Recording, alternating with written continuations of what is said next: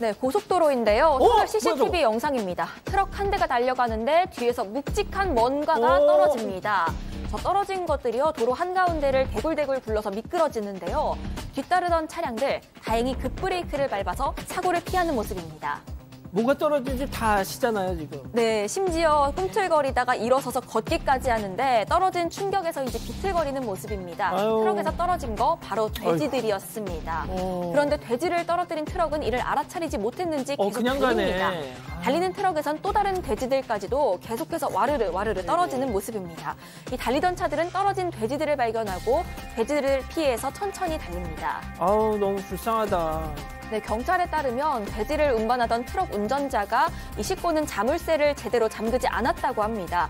빠른 속도로 달리고 있는 트럭에서 문이 열리니까 이 돼지들은 영문도 모른 채로 굴러떨어지고 만 거죠. 이렇게 트럭에서 떨어진 돼지들 모두 8마리였다고 합니다. 그런데도 트럭 운전자는 경찰이 연락을 하기 전까지 이 사실을 전혀 알지 못했다고 했습니다. 경찰은 신고를 받고 터널, 터널 입구부터 통제했다고 하고요.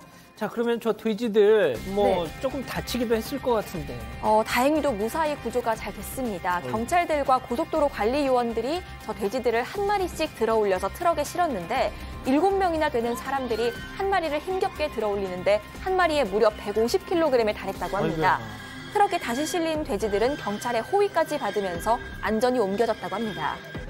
알겠습니다. 아직 안 끝났습니다. 이거 눌러주세요.